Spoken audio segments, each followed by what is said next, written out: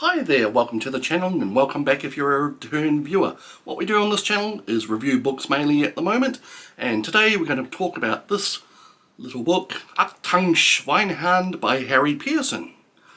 Now, this book is a bit of a curate's egg again. Um, so what it basically is and what it starts out is and what it says on it is on the cover is a kind of gentle memoir of childhood with a bit of a theme, a theme of war and military and, and fighting and combat um, as seen through the eyes of a young boy.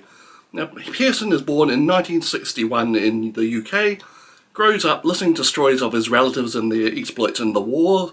Um, many of them didn't actually make it back.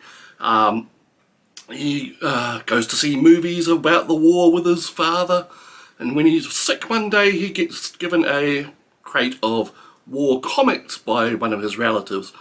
Now this is kind of like a full immersion but in the war, the recent World War II and war itself. Um, for the young people, mainly the males were, were, were, soaking in it for most of the decade. And I myself was born 10 years after Pearson and it was still around when I was a, a young person in the 1970s and in the early 80s. War kind of pervaded the media, particularly the UK media that we got here in New Zealand, and in the UK itself, as noted in this book, it was a, a, a constant present. And um, he makes a, a, a posits a, a, an explanation for that in this book, where he says uh, other European nations had had war on their doorsteps more or less constantly throughout the 17th, 18th, 19th century, whereas the UK didn't really hit home until the horrors of World War One in the, in the early 20th century, and then when it came and dropped a bomb on them in, in the uh, 1940s, uh, it was such a psychic shock that the UK never quite fully recovered from it, and it became like a a thing that all the children had to learn, all, all boys in particular had to learn, and um, yeah, so that's where it, it put uh, the young Pearson, and he talks about uh, the various war-related products which seemed to come his way. First there were the comics like I mentioned, then there were model kits, uh, you know, kit set planes, boats, tanks, all that type of thing, which he had various degrees of success in actually assembling. Um, and then there were the Action Man dolls, the UK version of the G.I. Joe, Joe doll, or sorry, action figure, um, and all its various uniforms and, and, and scenarios which you could play with those dolls when turned out that they were in Pearson's opinion, they're fairly useless because you needed more than one to actually do anything, and Action Man couldn't hardly handle half of the equipment that you're supposed to give to him.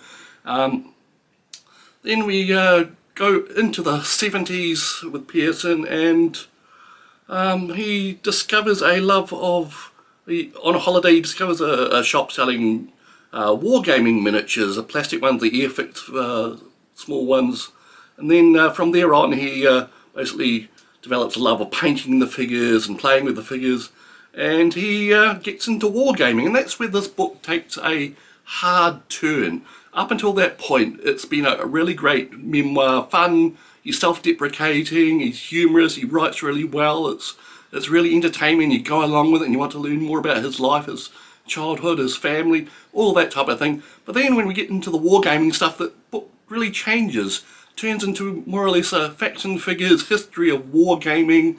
Pearson tells us about all the people that he he meets in the hobby, um, and then we get facts and figures about various famous people in history who played wargaming and what they added to the the games, um, how they related to the games and how it uh, related to their real life exploits. Um, all the famous and infamous people in history who uh, wargamed before the before the real thing, or just you had it as a hobby. The various types of wargaming figures, the flat figures, the lead, the white metal, all that type of thing. Um, Pearson seems half and half embarrassed that he knows so much and that he's got this as a hobby and half kind of defiant, yeah, look at me, this is what I do. Um, you learn a lot about the people he meets during his wargaming exploits, some quirky characters, in fact all of them seem to be very quirky characters and some of them would be very worrying to actually know in real life. Um, yeah, so I'm in two minds about this book.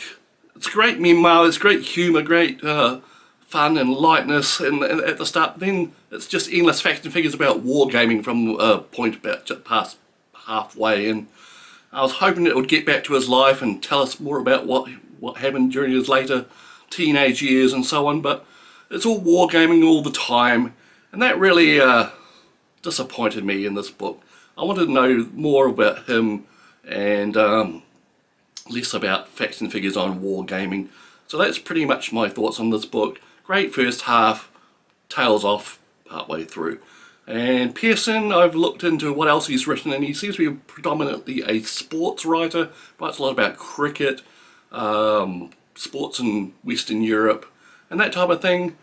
Um, he does have another book out there about cycling around Belgium, Belgium and kind of memoir type thing there. Might be good to have a look into. I'll see if I can get hold of that in the near future. So, worth it for the memoir aspects, not much else. So thank you, and um, we'll see you next time.